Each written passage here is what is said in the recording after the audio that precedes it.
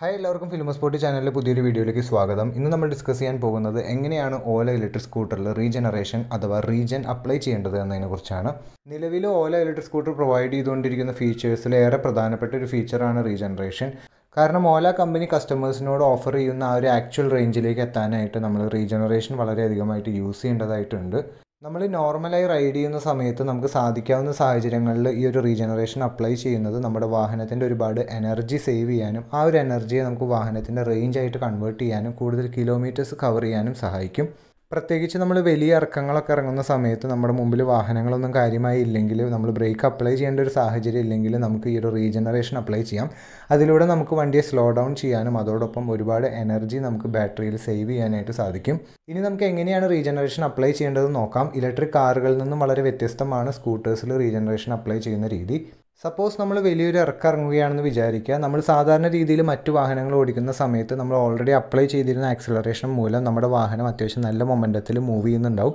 അതോടൊപ്പം ഒരു ഇറക്കം വരുമ്പോൾ നമുക്ക് കുറച്ച് എക്സ്ട്രാ സ്പീഡ് കിട്ടുന്നത് കൊണ്ട് നമ്മൾ ബ്രേക്ക് നോർമലി അപ്ലൈ ചെയ്യാറുണ്ട്.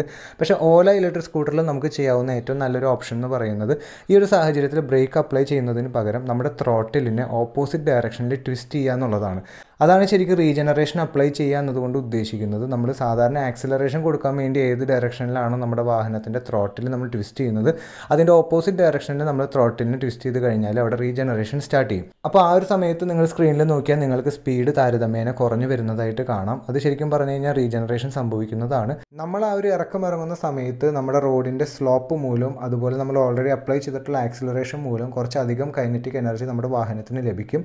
ആ ഒരു കൈനറ്റിക് എനർജിയെ നമ്മൾ റീജനറേഷനിലൂടെ ബാറ്ററിയിൽ ചാർജാക്കി കൺവേർട്ട് ചെയ്യുകയാണ് ചെയ്യുന്നത്.